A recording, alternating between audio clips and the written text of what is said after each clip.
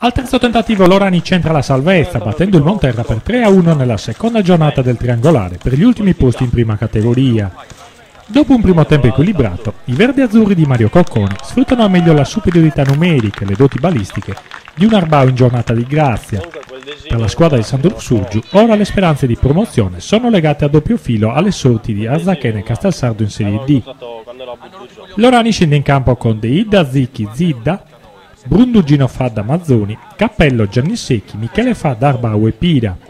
L'ex Antonio Atene schiera il Monterra con Antonello Ardo Mugheddu, Cazzeddu, Unida Mario Ardu Giulia- Giuliano Mura, La Rosa manca De Sì Mazzei Antonello Secchi, Arbitro manca di Sassari, temperatura estiva, locale in maglia azzurra, pantaloncini verdi, gli ospiti con la divisa a strisce rosso-blu.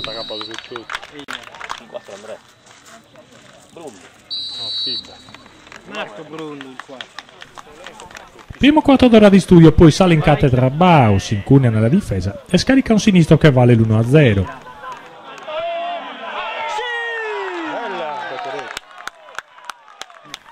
Appena due minuti arriva il pareggio del Monterra, punizione di manca. Deida non trattiene per De Sì, l'1-1 è facile facile.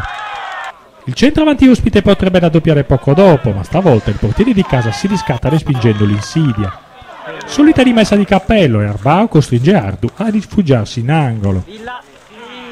Alla ripresa del gioco Zicchi e compagni aumentano la pressione. Il primo tentativo porta la firma di Secchi, diagonale che impegna Ardu. Entra col suo Arbao riceve subito un assist invitante, sul quale il numero 76 di Santo Lussurgio è attento. Dalla bandierina va Secchi, ancora Arbao trova lo spazio, miracolo di Ardu, poi Zicchi si fa ribattere il tiro da Mura appostato sulla linea. L'azione oranese si fa insistente sull'altra fascia. Cappello entra a contatto con Mugheddu. L'arbitro segna il calcio di rigore. Onida esagera nella protesta e viene espulso. La riproposizione mostra l'intervento scomposto del difensore e l'eccesso di agonismo del numero 4 ospite.